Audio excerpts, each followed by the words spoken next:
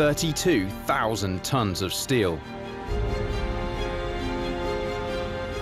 Seven decks, each the length of a football pitch.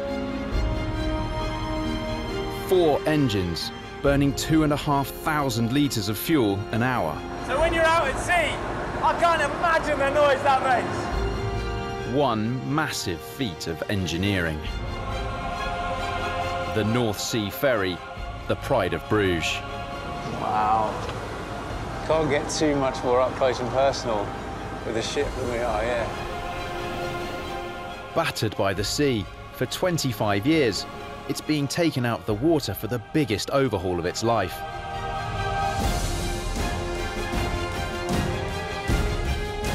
As key parts are stripped down, there's a unique chance to explore deep within its hidden features. We're as far as any sensible person would go.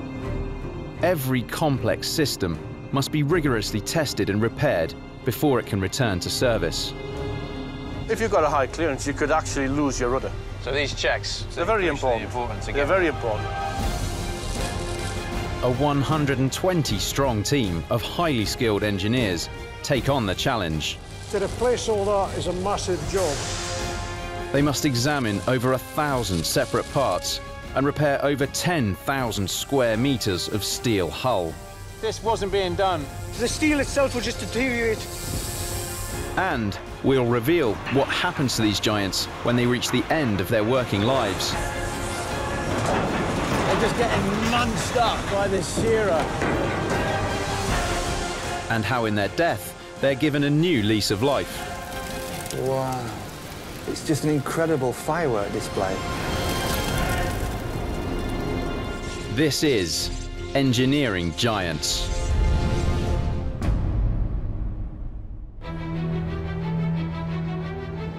I'm Rob Bell. I'm a mechanical engineer, and I've always loved to get my hands on complex machines to discover how they work.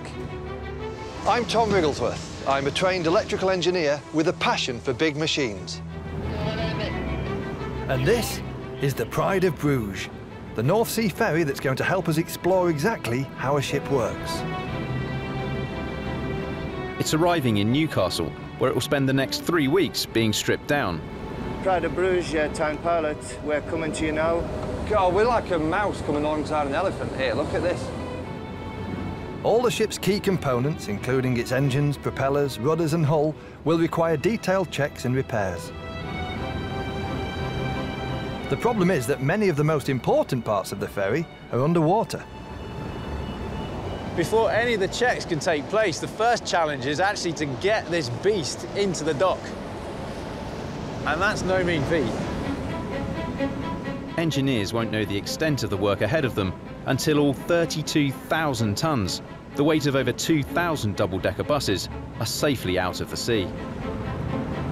And to do that, the ship must now be precisely manoeuvred into the dry dock facility at the A&P shipyard on the Tyne. The job of all the guys here around the dock is to get this ship absolutely central and in exactly the right position in the dock. On the bottom of the dock underneath the water are what's called docking blocks, and they've been laid out in exactly the right position for the design of this ship, the Pride of Bruges. Earlier today, I met up with site manager John Leckie to find out how his team was going to accomplish this engineering feat. These blocks that the ship will sit on, have been put in particular positions for this ship Okay. in accordance with its docking plan. The metre-high steel bases are topped with oak blocks, which cushion the immense weight of the ferry, preventing damage to its hull while enabling engineers to work right underneath the ship. Once they're in place, the team can flood the dock. If by some means it started right now, will we have time to get out? How quick a runner are you? Well, pretty quick, but Using water from the river next door, fed by gravity, the dock is flooded with 133 million litres of water, equivalent to 53 Olympic-sized swimming pools. Oh, wow. Look at it come out. It's absolutely flooding out. That did not take long at all. It takes another three hours before the water in the dock is at the same level as the river outside. Then, the gate can be dropped. Engineers have calculated where the hull needs to be positioned in relation to the dock so that the ship ends up exactly above the blocks. Tonight, this task is particularly challenging as there's a strong crosswind.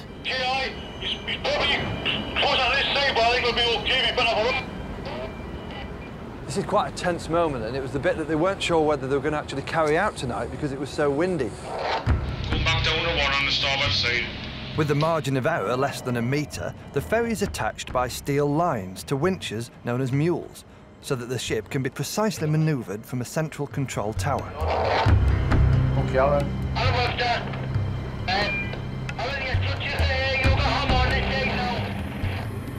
Just starting to drift back a little bit there now. It's such high precision work. And with the wind coming across as well, it's certainly not easy. Caught by a gust of wind, the ferry is pushed perilously close to the edge of the dock.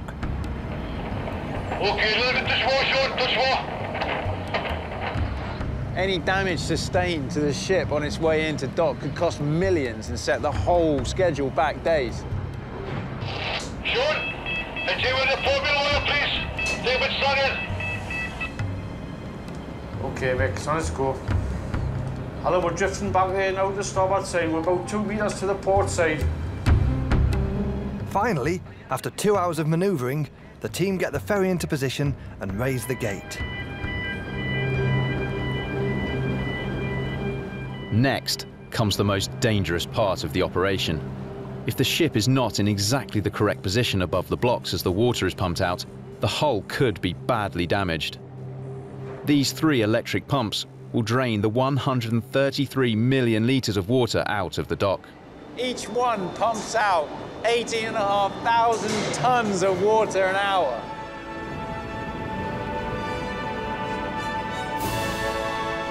After another four hours, it becomes clear that the engineering team's measurements are spot on as the Pride of Bruges finally comes to rest on its blocks.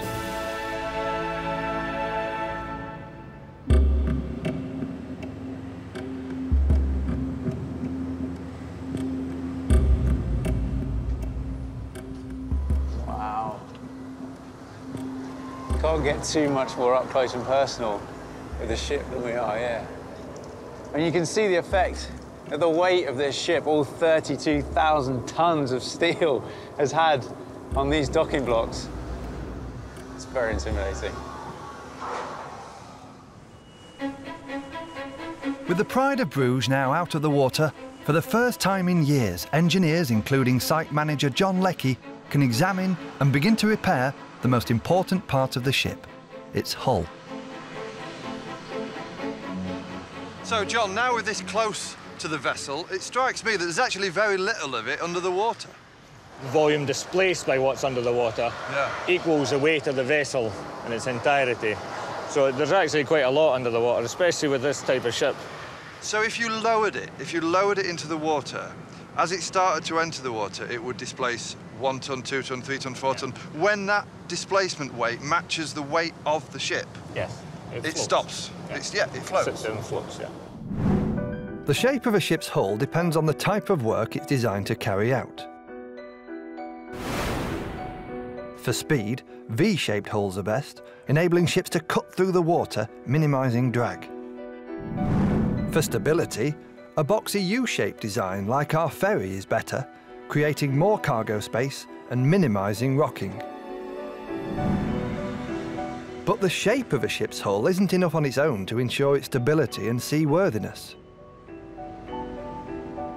A perfect level of buoyancy is also needed, and to make that happen, the ferry can pump up to 2,200 tons of seawater into the network of ballast tanks that run throughout the lower part of its hull. The ship is designed to sit at a certain depth in the water. If the ship was empty, carrying no load, it would actually sit so high up in the water that it would appear unstable. Now, this is a bit of an extreme example. That's not classic ship shape. we can make even this sit in the water with a good degree of stability if we put enough ballast in it and cause it to lower its buoyancy point, like that. While the dock was being drained, the ballast tanks on the Pride of Bruges were emptied, so that engineers could begin the filthy job of cleaning out the water inlets. known as sea boxes. Hey up, there's a man in there. Is he a contractor or is he just uh, dodging a fare?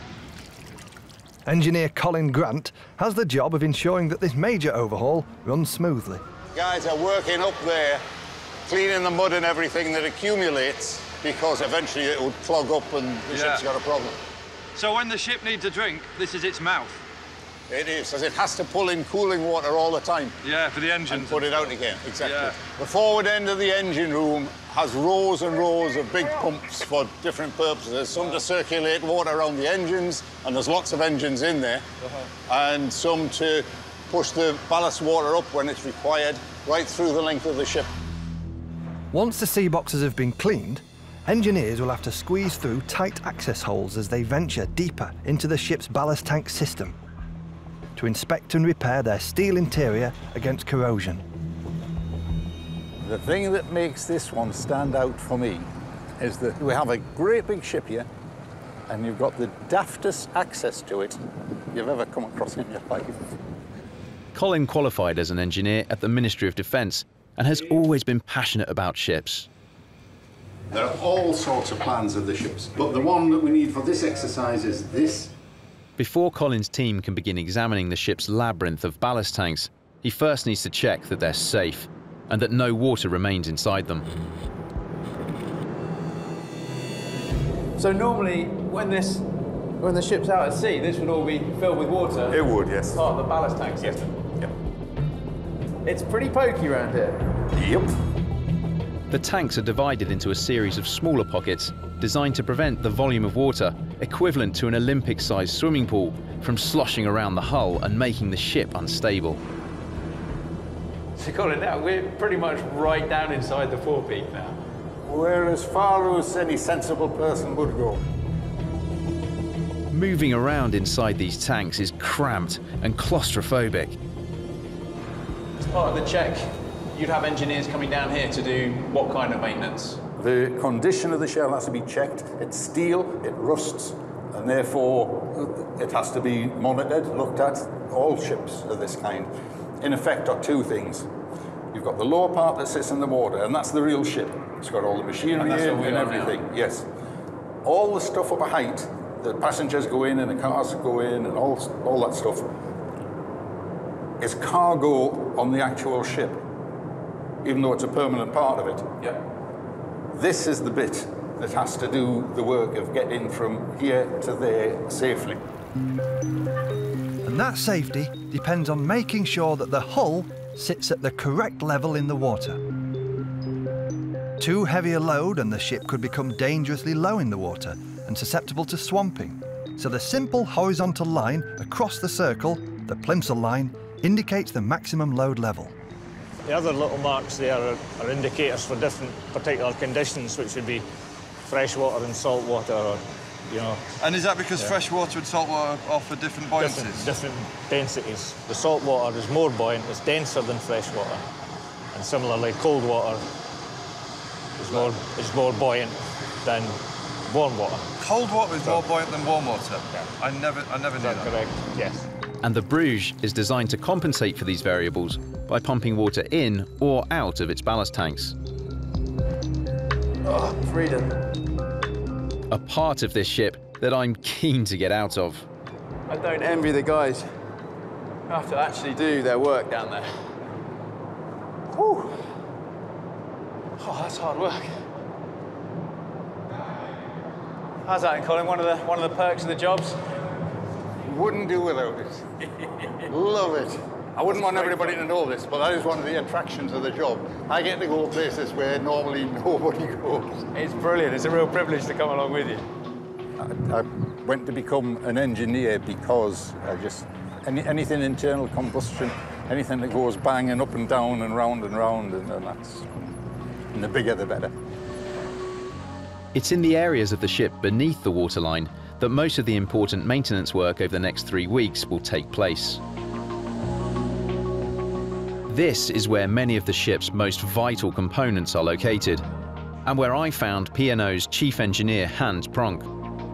He was part of the team that took delivery of the Pride of Bruges 25 years ago. My roots are at sea, so So seawater is in the veins? Yeah. Hans's engineering team are about to run tests on a part of the ship that few passengers would even know exists. Hans, why is this little room so important to the passengers? Comfort. Comfort for the passengers. This controls comfort. The ferry is fitted with retractable fins, known as stabilizers, which help limit the rocking motion at sea that can cause seasickness. So this is the actuator that pushes the stabilizer arms out? Yes. So, and at the moment in dry dock, we get them out for repairs, cleaning, maintenance, and whatever. During the tests, engineers will be checking that all the hydraulic systems are functioning correctly and that both stabilizers are perfectly synchronized to work together. These would only normally be deployed in stormy weathers. The flaps at the back are controlled and move up and down. And they counteract the rolling of the ship from side to side. As this flap goes up, on the other side the flap will go down.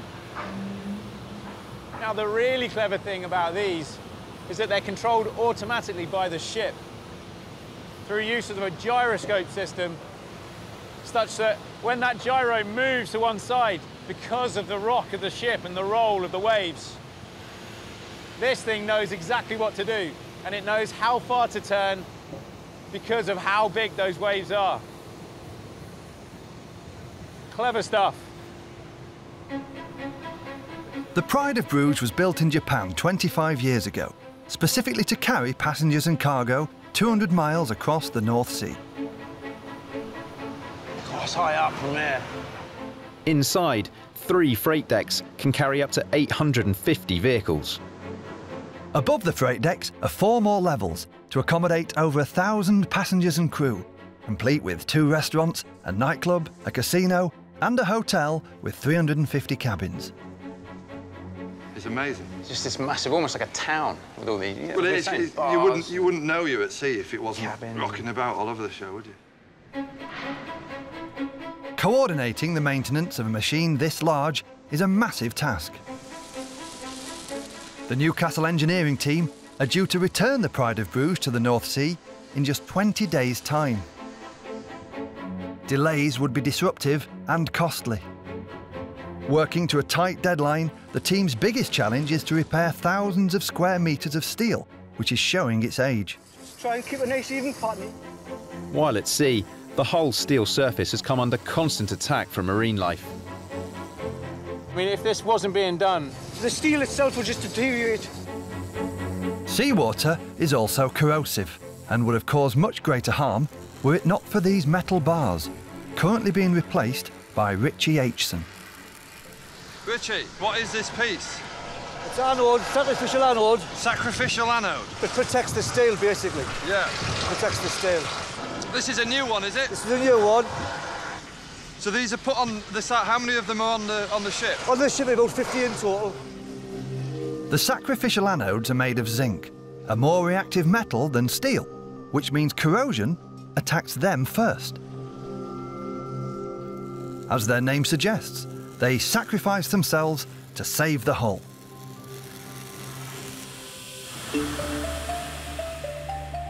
While engineers carry out repairs on the steel exterior of the ship, inside, work is underway to replace two steel floors, each the size of a football pitch, in the ferry's car decks.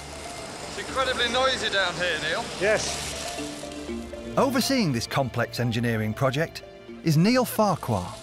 The reason we're replacing the steel is the wear and tear over the years with the trucks and stuff that goes steel back and actually forth. wears down, Oh yeah, it wears it? down. You've got to remember this 18, 20 tons Yeah. travelling back and forth on trailers and stuff. If it goes below a certain millimetres, it has to be replaced. To replace all that is a massive job. To strip out the old decking would take months, so engineers will be fixing a new level of steel above the old one, saving time and money. The blue machine on the left-hand side is what we call a blast track machine, Right. which shoots shot blast onto the surface to make it absolutely spotless. Oh, it really does, doesn't it? So that leaves the welders, the clean surface, to come along and... It's like filing it down before you. Exactly. Over the next three weeks, the team not only have to grind the old decking down, But they also have to remove hundreds of manhole covers and fixtures and refit them to the new surface. How thick a piece are you adding on top? Six mil. Six mil more? That should see it right for another 10 Oh, years. yeah, at least. Yeah. Yeah, yeah, yeah, yeah. Extending the life of the ferry is the major goal for this overhaul, and a week into the process, there's still much to do. Over 600 square metres of flooring needs to be relaid as part of the passenger deck's refurbishment. The critical moving components that take the brunt of the forces at sea need to be checked and renovated. And all four lifeboats must be removed. Okay. These potentially life-saving vessels can carry up to 150 passengers each. They'll be thoroughly examined along with the release mechanism that lowers them into the water. Part of our service is to make sure that they are working and functioning correctly. Yeah. Put them into the water, check the release system, and do the maintenance. Safety on the ship is paramount and the main focus for the Newcastle engineering team. They're being helped by key members of the ferry's Dutch crew, who have stayed on board to operate the controls and working parts of the vessel. An old ship, uh, 25 years plus, well maintained, well looked after, good crew on board who love the ship. They do two weeks on, two weeks off, and uh, obviously treat it as a home. It's a good team. We've got about 120-ish crew working together with all the people. That's the most important thing. That will help you through the two weeks. The interaction is really great on this ship. Different nationalities, and uh, yeah, that's why I love it. Sailing for two weeks on the ship and we're two weeks at home. Enough time uh, to spend at home with your family. No one knows the Pride of Bruges better than its crew. Today, they're working with Colin and the Newcastle team to operate the ship's two four-ton anchors. They need to examine their 329 metre chains, stored in lockers deep in the bow of the vessel for potentially lethal wear. The anchors are the only brakes that the ship has. Right. It either hits something solid, which is undesirable, unadvisable, yeah, and the captain gets embarrassed, or you hang on to what's down there. The ship will not stand still. What are we looking for in that inspection? Any defects. That rubs on that. Yeah. Naturally, that causes wear. Remember, if they are actually anchored, those things are working all the time. Yeah. And there's a maximum wear allowed on them. To accurately measure the wear on every single link, all 329 metres of chain is released, an operation rarely carried out on this ferry, except in emergencies. You just see the rust flying off of it as the pressure of each one of the links of those chains goes through the teeth on the wheel. It's just grinding it straight off. Next, the team must carefully organise the chain along the bottom of the dock, a potentially dangerous task that has crushed dock workers in the past. They load the chain onto the ship in lengths. After they've loaded one length on, you can see they join it with a red link. After one length, they paint one link either side with white paint. After two lengths, there's two links either side get painted white. After three lengths, three links. So you can see at a glance exactly how much chain you've fed out. The anchor prevents a ship from drifting away due to the currents or tide. A common misconception is that it's the anchor itself that acts as the main weight to secure the ship in its position. In fact, it's the weight of the chain that holds the ship in place. The anchor is merely there to keep the chain in the correct place on the seabed. The final link in the chain is attached to a single pin deep in the bowels of the vessel. You pull the pin there, which is painted down. There's a backup on everything. Yeah, of course. Pull that pin so that's there so it can't work its way out while nobody's looking. Yeah. And then you get your mightiest crewman with him, hit him, knock it out. That pin goes through the, the bitter end, the last link of the cable. So the last link of the chain is called the bitter end. Yes. And the whole anchor and the whole chain is connected to the ship by the bitter end. Exactly. Or more importantly, the sh ship is connected to the anchor by the bitter end. Releasing the bitter end would be the captain's last resort, casting the ship adrift in the sea. You build a ship and you hope that will never be used, except for normal anchor chain changes. Yes. The anchor and its chain is 25 years old, the same age as the ship. And like many of the ship's 10 million components, as it gets older, it will require an increasing amount of maintenance and repairs. In the end, the Pride of Bruges will simply become too costly to keep running. Then, it will end up at a shipbreaking yard like this one in Belgium, the largest of its kind in Europe. Here, over 50 ships a year are plundered for spare parts and broken up. It's the perfect place to look even more closely at how all ships are built. There's all manner of activity going on here. Ships being sailed in to get cut up, scrapped, and it all gets loaded up and taken off to be recycled. Ships usually arrive at the yard in full working order. Looks like it's just been completely abandoned. The salvage team, led by Mario Mias, then get to work removing any valuable components left on board. That's a pretty massive engine. A working engine could fetch over £50,000. So how much of this weigh, roughly? Uh, 27 tons. 27 tons. Yeah, yeah. 27 tons of engine. Yeah. The team must be careful. Removing a heavy engine while the ship is still afloat can weaken its thin, finely balanced hull, snapping it in half. I mean, that would be disastrous. You've got people on board cutting and suddenly... People on board, uh, residues of oil uh, into the water, so it be... Let alone the value of the ship as well that you could It, destroy. should, it would be a cat- uh, catastrophe.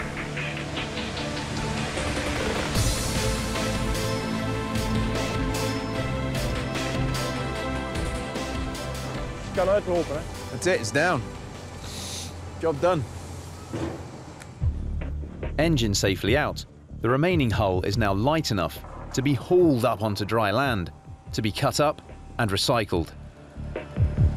Effectively, we're just dragging it from the sea up here onto dry land. This Mexican dredging vessel used to pump sand and silt off the bottom of South American ports. It has a hull that follows the same principle and dimensions of our ferry, just half the size. Stood in front of this perfect cross-section of a ship, cut right through it. Just gives you a brilliant picture of the structure and what goes on inside. I mean, better than any engineering drawing could ever give you. And whilst this is obviously built and designed to transport cargo, and our ship, people and cars, the principle's very much the same. The flat bottom hull and the ballast tanks on the side. The other great thing about this cross section is it allows you to see how thick the hull is, or in fact, actually, how thin it is. That's probably, what, a couple of centimeters at max? Can you just imagine how something as thin as this could get ripped to shreds if it came up against something solid like a rock? It will take another two weeks for the salvage team to cut up the rest of this 2,000 ton hull, ready to be recycled. Our ship, the Pride of Bruges, should be at least another 10 years away from this stage of its life cycle. In Newcastle, the ferry's now halfway through its three week overhaul, and so far, the engineering team are on schedule. Throughout the process, one of its four diesel engines has been ticking over to provide electrical power to the ship's control systems. Right at the back, or the aft of the ship, the real business end. And down here is where the engines are. The power, this beast of a vessel. It's the heart of the beast. That's where all the action is. It's, it's, it's alive. And it pumps the energy through the ship, and you can feel it when you're in there. You can't hear anything else, but you feel it. Even with ear protectors on, when the ship is at sea, it's simply too loud in the engine room for engineers to work safely for long periods. So while the ship is in dry dock, Chief Engineer Hans Pronk and his team have just a few days to check the thousands of valves for any leaks and carry out important system checks on the engine's complex electronic controls. So you, you're able to see here and actually control everything out in the engines, all the pumps, all the generators. All the things will be displayed on a uh, screen like this. As you see, the controls over here for, are for pumps, the controls for propellers, the controls for generators, the control for main engines, clutching, declutching, steering, steering, everything. Despite the noise and heat, Hans is never more at home than when he's in an engine room. When you're out at sea, it's even more noisy than it is now down oh, here. Yeah, yeah, yeah, yeah. You definitely need a lot of air for At sea, all four engines would be running, constantly driving the ship's two propellers, as well as supplying the ship with hot water and enough electricity to power a small town. I mean, this really gives you an idea of the size of the engines and the pistons. So the diameter of a piston inside the engine is that. A piston in a regular car engine is closer to the size of a fizzy drink can. Uh, this piston here, that's just been refurbished, has it? Ready to be used again? Yes, you see, it's not brand new. Yeah, yeah. you can see. But it's fit for use. It's how much would one of these cost new, roughly? About 7,000 for the top part, because it is being split. Yeah? And then you have the lower part, there's another 7,000 roughly. So around 14, 15,000 pounds. In addition to 30 pistons, costing £182,000, there are tens of thousands of valves, pumps and pipes, all working together to supply the ship with the power it needs. So what's the power that we've got on here then, Hans?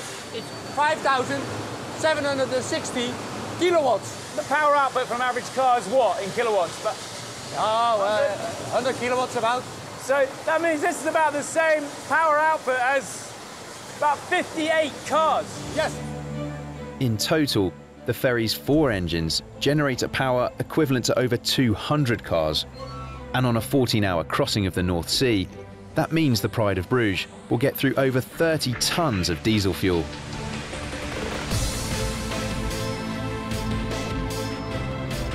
Back at the shipbreaking yard in Belgium, a fuel tank has been split wide open, revealing what the vessel consumed and how it consumed it. The fuel they use on ships is one of the cheapest, real heavy fuel oil you can get. I mean, look, look at it. I mean, this is kind of crude oil once you've taken off gas, petrol, diesel oh, at a left. refinery. This is kind of what's left. It's like treacle. So on a, on a ship, it has to go through, the fuel goes through three different stages before it can actually be injected into the engine and be burnt. The pipework you can see running through, yeah. it's kind of like um, the heating element at the bottom of a kettle. This is used to heat up the fuel. So it goes from this really viscous, thick, sticky stuff into something more liquid that they can start pumping through the fuel system. So it gets thinned out by, by being kept warm? Yeah, it gets thinned out.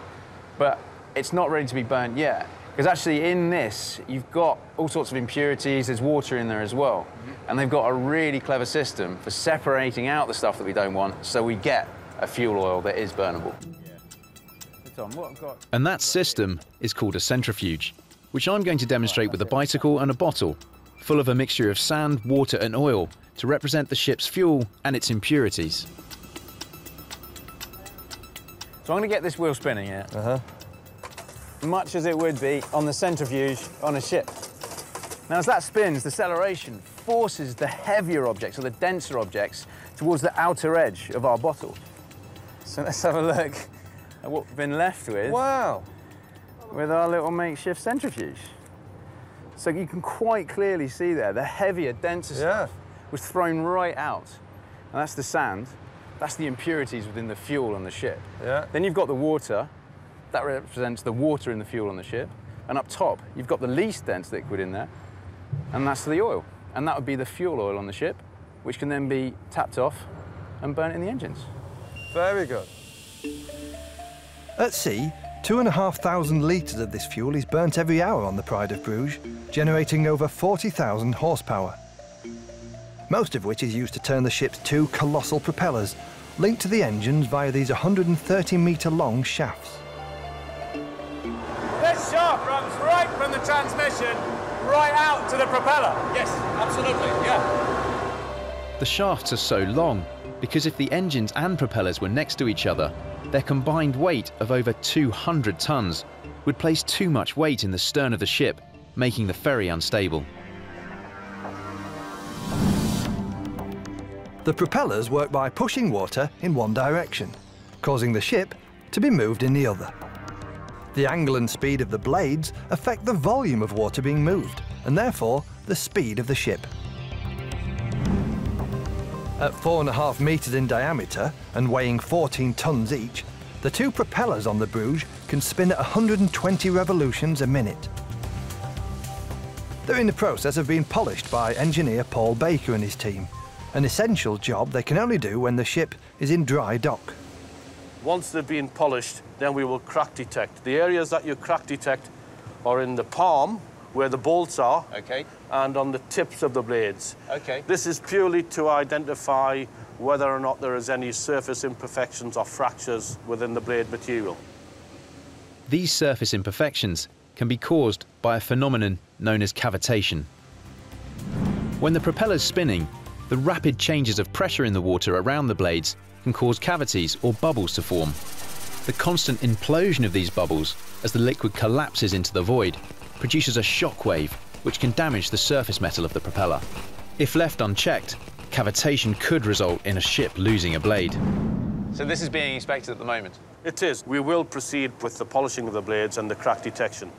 So when you polish it, yes. what's the effect that that will have? Is efficiency. That, it will improve the efficiency? It will improve the efficiency of the blade as regards the resistance within the water. Okay. So therefore, it will reduce these fuel costs. Okay. It's all about reducing fuel costs. Those costs are further lowered by the ingenious design of the propellers, which enable the captain to control the pitch of the blades, an invention that's best demonstrated by this replica model. Unlike in cars, where the engine speed determines how fast the car's going, that's not necessarily the case in ships. It's the angle of the blades in the water which is going to determine how fast you're moving. So when the propellers are in this position now, which they're, they're quite flat, it's pretty much like having a dinner plate slapped onto the end of the shaft. So when it's spinning, it's not giving you any forward thrust. Now, when you start to change the pitch, you start to get an increased amount of thrust and propulsion forwards on the ship. If the captain then wants to reverse the ship, what happens is he reverses the angle of these blades completely, such that the water is being propelled in the opposite direction and the ship goes backwards. And that means he doesn't have to slow down the propeller from the forward direction, crank it in, and then speed it back up again. That whole process can be done whilst the shaft's still turning. So this clever design makes the ship that much more maneuverable, with quicker response times, and is more fuel efficient, making it much cheaper to run. It's now only 10 days before the Pride of Bruges is due to ferry passengers and cargo across the North Sea. And with time running out, engineers must make sure that all the critical components, usually underwater, are in perfect working order.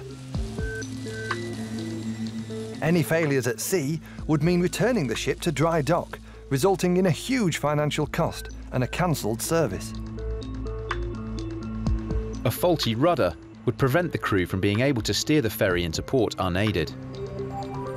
So Paul and his team must now check that the rudder's washers and bearings, known as bushes, haven't worn down due to continual movement in the water.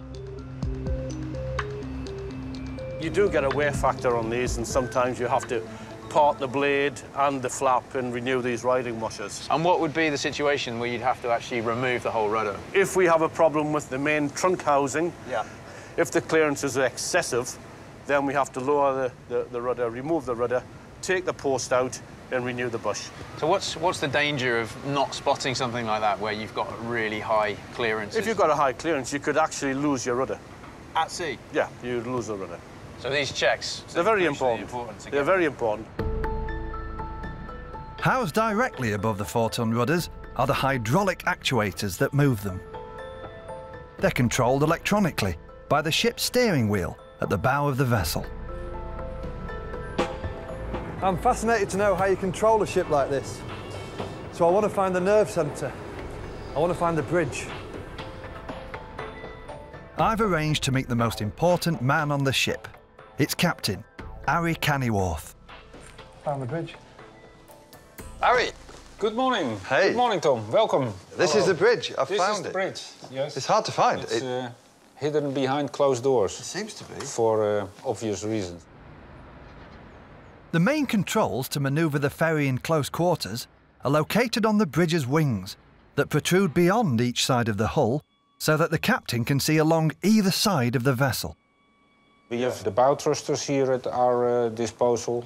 Now, these are just those little propellers, rel- well, say little, they're about six foot, aren't they? Uh, relatively uh, little. And they can move uh, the bow basically sideways. Yeah. So, you've got rudder here?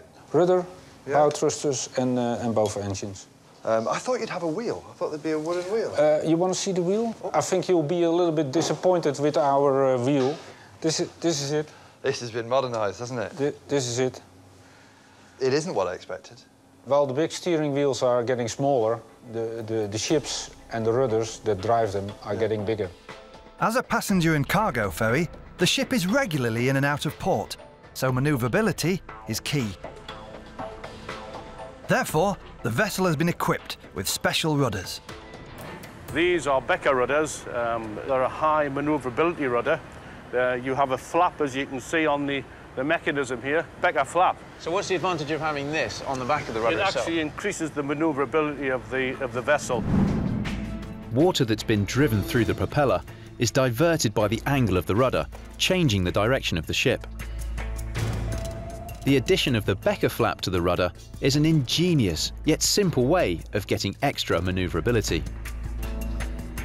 Because of its position, this smaller flap has a bigger effect on diverting the water flow, making tighter, quicker turns possible. So, what would be happening if you're doing 18 knots, top speed? Top speed. Clear day. Yeah. And you just went. Uh, the ship will list considerably. okay. Everything that's not secure will fall down. Clearly, there's no way to see Harry manoeuvre the ship while it's in dry dock.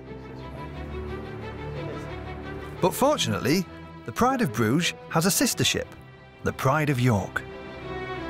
Built in Scotland to exactly the same specifications as its Japanese sister, the York also carries out the daily Hull to Zeebrugge crossing. Between the two ships, they ferry 400,000 holidaymakers and business travellers between Britain and the continent every year. On behalf of P&O would like to welcome you on board the Pride of York. The ship is now secured for sea and we will leave the berth shortly.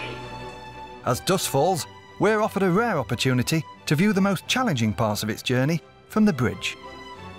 So, Alistair, why is it so such mellow lighting in it? All craft are illuminated and we have navigation lights. It's an imperative that we see those lights as soon as possible. Any background light on the bridge would spoil our night vision and we wouldn't see those other ships. It's the same reason as in your car. You exactly put the same. Exactly the same lights. as that. If you have bright lights in your car, you can't see what's outside the windows. Captain Alistair McFadden shares the skipper role with his Dutch counterpart, which means tonight he's free to explain how the crew manoeuvres the ferry through a narrow lock on its departure from Hull. But all the navigation's going on down the other end of the It bridge. is, there, yeah. Captain Rowley and the chief officer, they're manoeuvring the vessel at the moment. So this is quite an intricate manoeuvre. It we're, is. We're trying to get this enormous ferry Into this tiny little lock pretty small gap, yes. Yeah. So when we're in there, how much leeway have we got? You've got about 18 inches either side of the vessel as we move in. It's a very um, tricky manoeuvre. We use our own machinery, main engines and bow thrusters, to, and, and of course the rudders, to, to get the ship in here. And as you can see, we do things very slowly Yeah. and nice and gently. That is Unbelievable. From up here, that, I can't believe that's 18 inches. It looks like it's about an inch. The smallest of errors could result in damage to the hull where many of the ship's most important components are housed. But the York has been designed to the exact specifications of this particular lock. Is it not an argument uh, economically to have a smaller ship or a bigger lock that you can be quicker, So you, you can you can get more ships through. The, the bare fact is that the lock is built, and if they'd built it twice as big, uh, we would have built a ship twice as big. Now, the ship has to wait until the level of the water inside the lock reaches the same level as the river outside. The whole idea of this dock basin is to maintain a certain depth of water all the time. So any ships inside always have a guaranteed amount of water under their keel, so they can work cargo throughout their stay in the port. There we go. There we go, opening up.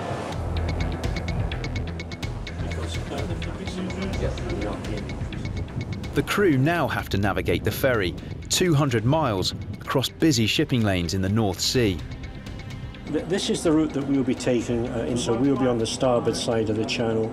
We'll come all the way down to the sea reach. Once we get to that point, we'll alter course to uh, a course of 124 degrees, all the way down to Zeebrugge. Today, ships are equipped with global positioning systems that use satellites to fix the ship's location to within meters, and an automatic identification system that then broadcasts the information to nearby vessels. Superimposing that information onto the English Channel reveals how ships have to stick to lanes, like traffic on a motorway.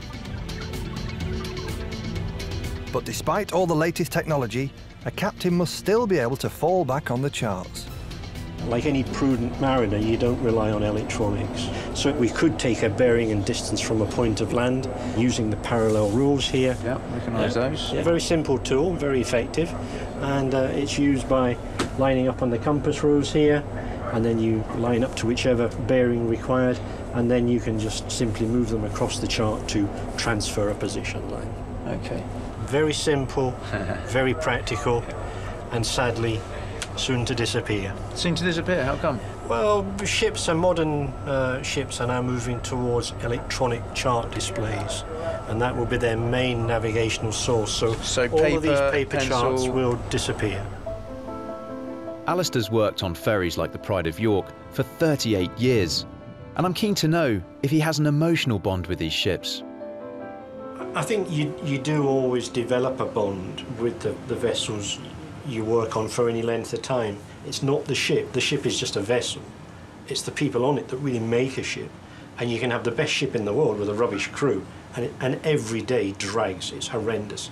And you can have a really older ship with lots of challenges, but with the right crew, it's a pleasure to come to work. Fantastic. What, what's the most challenging thing for you uh, uh, when, when you're captaining a ship? Weather.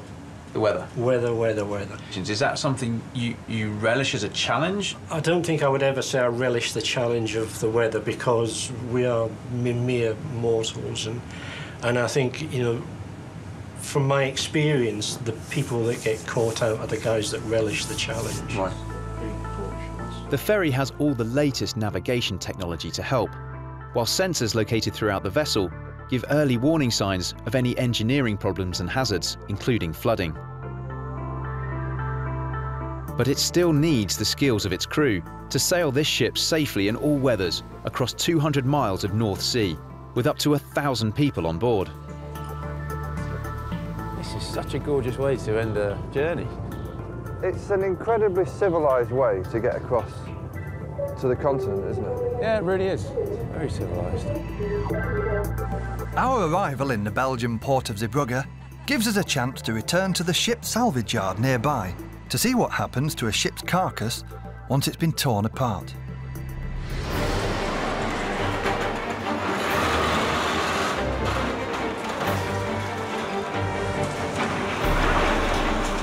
This is what ends up happening to ships at this scrapyard.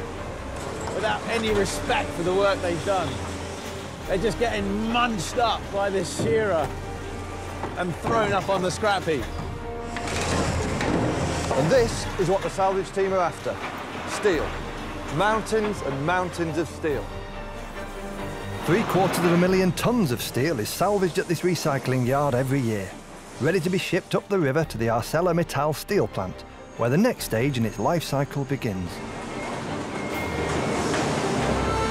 Here, containers the size of three-storey buildings carry molten metal through the giant production line. It's just so impressive the size of the equipment and the temperatures involved.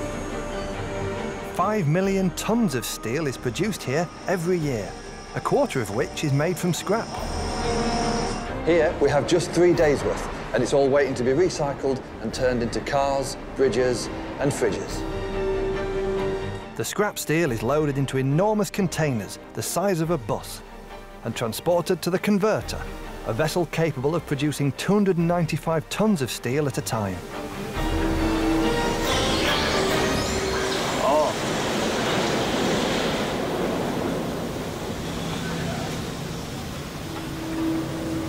I mean, that is a, a hellish noise to, to match kind of hellish vision in a way, isn't it? Hot metal, produced by melting iron ore in a blast furnace, is then poured on top of the scrap metal.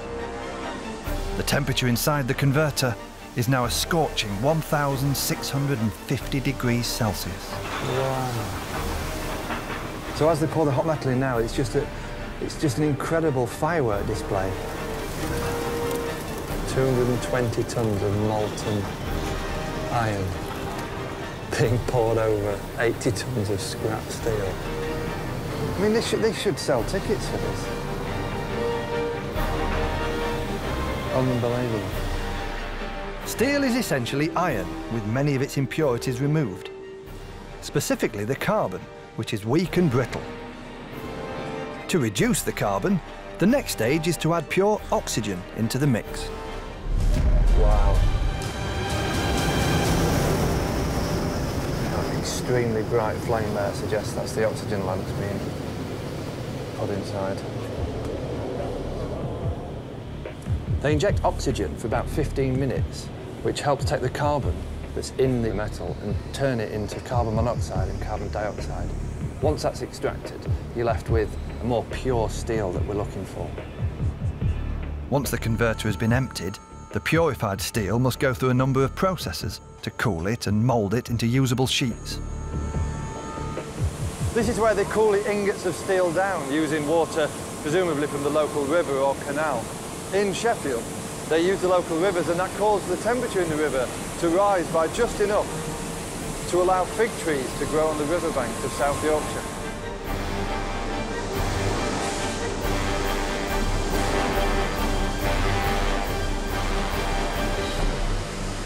Wow, that is so impressive.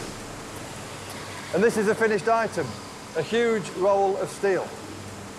What I must describe to you is how hot that thing is. You can feel it from here, it's searingly hot. Some of that once made up the ship that we saw floating on the ocean. Now it's been turned into this. Its next thing is going to be turned into your next car or washing machine. It could even be used to build a ship. In Newcastle, there are now just two days until the Pride of Bruges is due to head back into service. Work's begun to cover the part of the ship's hull usually underwater in a special paint designed to prevent the build-up of marine life, therefore improving the ship's fuel efficiency, as paint quality inspector Tim Emerson explains. Once that growth attaches itself to the ship, it slows the ship down. It has a dragging effect on it, yeah, which obviously means that they've got to use more energy to drive the propellers to make the ship travel at the same speed, which obviously is impacting on the on the fuel costs. I find it hard to believe that a few barnacles is going to cause a problem of fuel efficiency.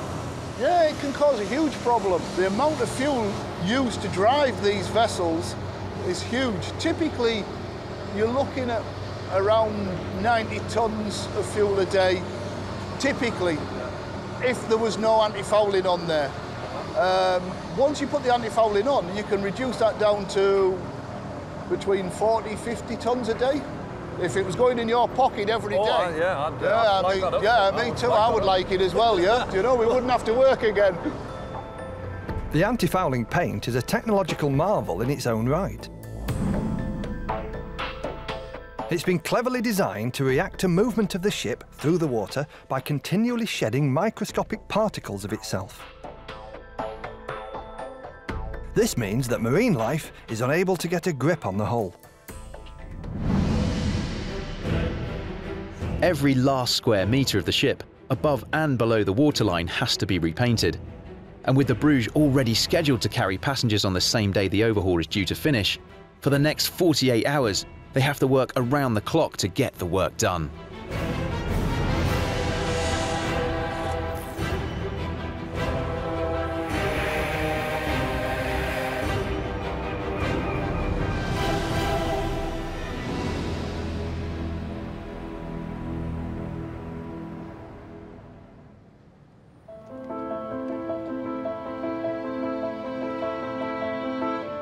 It's the final day of the overhaul, and the Pride of Bruges is almost ready to bid farewell to Newcastle.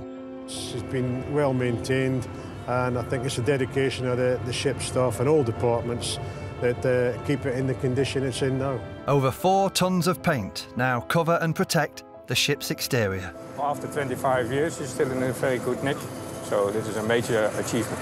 And we'd like to keep her like this and try to maintain her as such.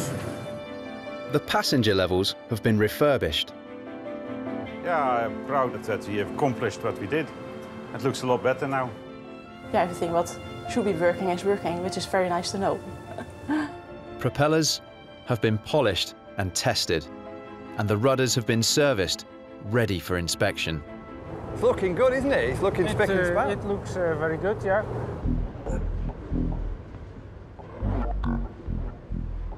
Now the team have to get the ship back in the water. Engineers open the sluice gates to flood the dock. Refloating the ship is a risky operation, especially in the critical moments when the ship lifts off the blocks, as docking master Alan Webster explains. It's a term that we call the point of criticality. Right. That's where the ship's at its most dangerous from being on the blocks to becoming free floating. How do you account for the fact that there's no passengers on it, there's no cargo on it? So it's a, it's a, it's a dangerously light point. Yeah, that's why we have to reballast before she lifts off the blocks. Because if you if we, just- if we didn't, chances are the ship would capsize. Really? Yeah. Okay. So to prevent that, You've got to put the ballast back in. put the ballast back. Late in the evening, the Pride of Bruges slowly lifts off its blocks and floats for the first time in three weeks. Once the level of the water inside the dock is at the same level as outside, Alan gives the signal to drop the gate. Yeah, just checking are the, uh, are the gates on the bottom, can the tugs go in? What draft is he, uh, Russell? His team have a narrow window of just over an hour to manoeuvre the ship into the river before the tide goes down and it's left grounded. Tugboats slowly tow the ferry from the dock and Alan's work is done. Not so bad, no, it's all right, yeah. Timed it nicely. Thanks to the work of the Newcastle engineering team, the Pride of Bruges should now be in service for another 10 years.